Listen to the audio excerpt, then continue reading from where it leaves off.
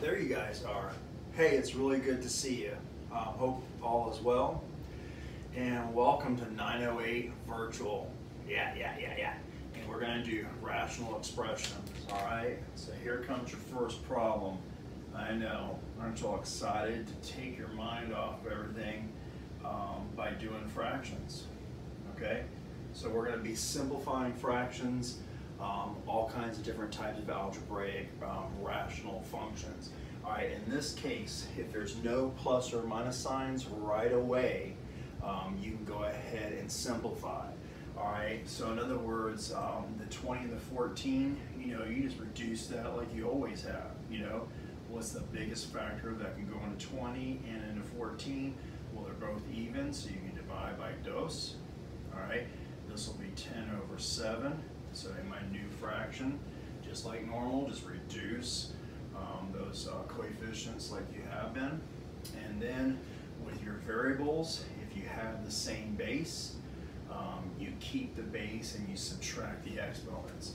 So you've got x to the 6 take away 2, which is x to the fourth power, and put it here because there's more. Look, there was six factors of x in the numerator, there was two factors in the denominator, there's more in the top that is all you can do for example one. Notice there are no um, plus or minus signs. That's why you're able to cancel right away. All right, speaking of that, watch example dose. Okay, number two is gonna be a little bit different.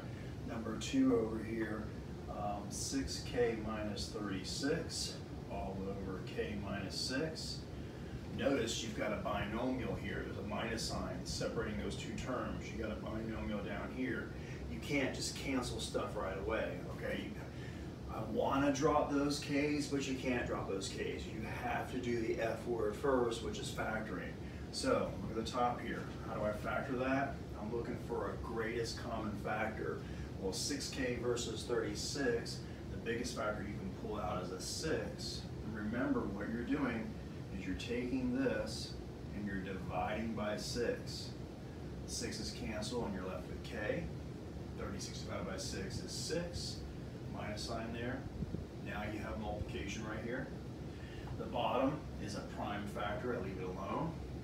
Once you have this multiplication and you have separate factors, then you can cancel any factors that are the same in the top and the bottom, and then the answer is just 6. How fun is that, yeah?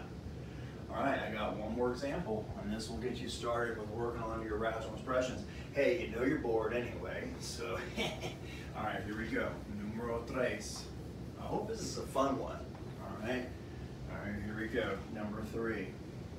All right, I've got y plus ocho over y squared plus 2y minus 48.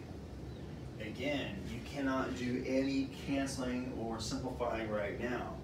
Um, you got plus signs and minus signs separating these terms. You might think you can drop those y's, never, okay? You gotta do the F word, which is factoring. In the top again, we have a prime expression. Cannot factor that. There's no GCF other than one. In the bottom, there also is no GCF, but this is that favorite factoring of all ours where um, break down that trinomial into a binomial times another binomial. So remember how we did that? We did y and y. Take your 48 and circle it. Um, start listing factors of 48. I like 6 times 8. You're looking for the pair of factors that's going to add or subtract it 2. In this case, it's going to subtract to give you 2. Take the sign. Um, you want a positive 2, so the higher one gets a positive. Now because you have multiplication right here, this factor here is completely the same as this one. One's the numerator, one's the denominator. You lost all of the numerator, so that's one, and then you just leave that factor down here. You can put the parentheses or leave the parentheses off of it. All right, well have fun. Hopefully this takes your mind off of things. And hey, welcome to 908 Virtual.